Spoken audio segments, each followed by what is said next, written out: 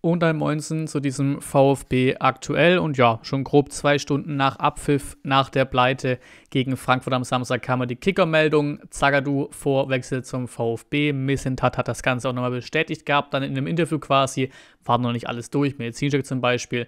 Das ist nun der Fall. Eben reingeflattert die News, die offizielle Bestätigung vom VfB. Er ist da. Dann Axel Zagadou verstärkt unsere Defensive, bekommt einen Vier-Jahres-Vertrag. Auch das war in den Gerüchten. Also bis 2026 an uns gebunden. Missetat zum Transfer. Daxo bringt alle Voraussetzungen mit, die ein Top-Innenverteidiger benötigt. Er ist athletisch stark, verfügt über ein gutes Passspiel und hat in den vergangenen Jahren wertvolle Erfahrungen auf nationaler und internationaler Ebene gesammelt. Er kennt die Bundesliga und wird dementsprechend wenig Zeit brauchen, um sich bei uns zu integrieren. Mit seiner Verpflichtung konnten wir den offenen Kaderplatz im Defensivbereich mit einem hervorragenden Spieler besetzen. Wir freuen uns sehr, dass sich Daxo für uns entschieden hat und begrüßen ihn herzlich beim VfB und Zagadou ich bin sehr glücklich hier zu sein. Vielen Dank an die Verantwortlichen des VfB für das Vertrauen, das sie mir entgegenbringen. Ich freue mich sehr darauf, schon bald mit meinem neuen Mannschaftskollegen auf dem Platz zu stehen. Genau, er ist da. Das Ganze geht auch, weil ne, ist er außerhalb der Transferperiode, aber der Kollege war vereinslos, ein freier Spieler. Im Sommer ging seine Zeit bei Borussia Dortmund zu Ende, kam 2017 dort aus der PSG-Jugend, ist ein absoluter Brocken da hinten in der Innenverteidigung, kann auch linker Verteidiger spielen 1,96 groß, 23 Jahre alt, Franzose, hat auch da ja, quasi alle Jugendnationalmannschaften durchlaufen. Immer noch ein Marktwert von 9 Millionen. Höchstpunkt in Sachen Marktwert hat er im März 2020 gehabt mit 35 Millionen.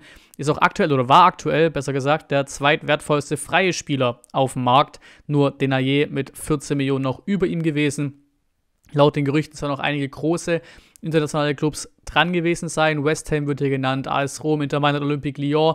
Ähm, hat beim BVB in fünf Jahren 92 Spiele gemacht, davon auch 15 in der Champions League. Sein Problem und wohl auch das größere Problem der größeren Clubs, dass sie vielleicht auch von der Verpflichtung Abstand genommen haben, ist eben auch seine Verletzungshistorie. Er hat beim BVB über 80 Spiele verpasst, heißt damit fast gleich viele Spiele ausgefallen, wie er gespielt hat. Das ist schon ziemlich hart.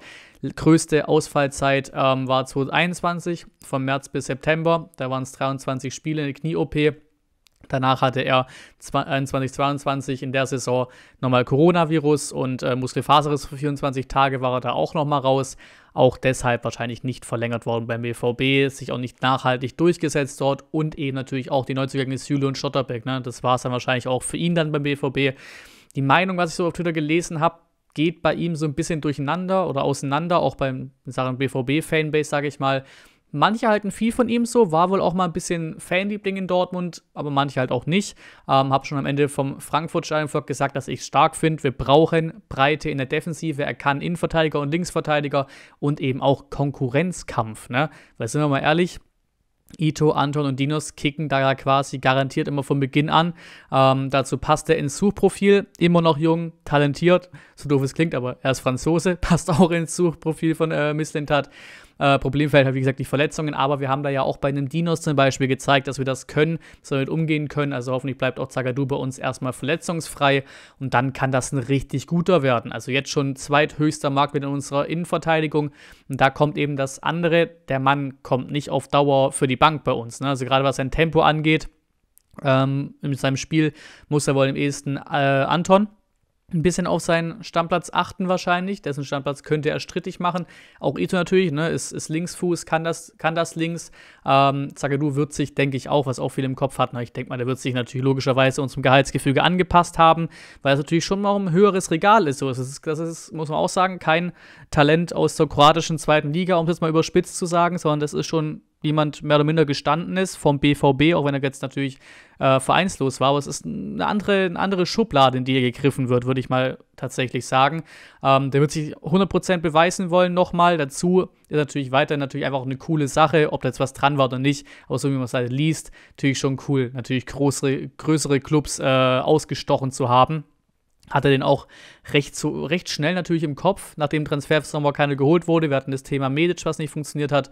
Ähm, da natürlich direkt geschaut, wer ist denn gerade so ablösefrei da, weil wir haben diese Lücke und jetzt geben sie es ja auch mehr oder minder zu, dass da schon ein freier Posten war da hinten, äh, der jetzt gefüllt wurde.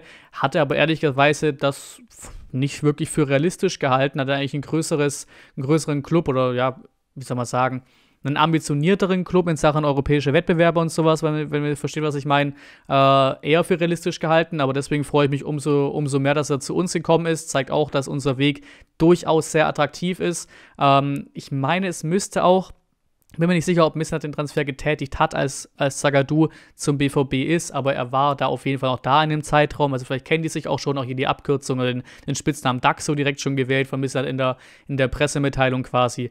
Ähm, also das passt auch zusammen. Ich glaube, da war Missner auch ein wichtiger Bestandteil von dem Transfer, ziemlich sicher. Ich finde es gut, gute Idee und da ablösefrei ist klar, der verdient natürlich jetzt vier Jahre lang erstmal einen Vertrag und verdient dann natürlich auch gutes Gehalt wahrscheinlich.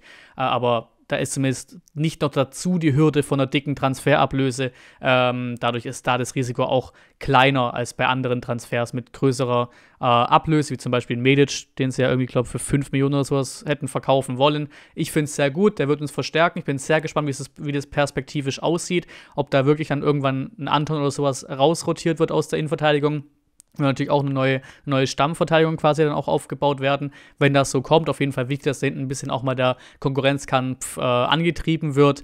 Gerne eure Meinung in die Kommentare zu dann Axel Zagadou. Auch gerne das kostenloses Abo dalassen, wenn ihr es nicht getan habt. Danke fürs Zuschauen und bis zum nächsten Mal.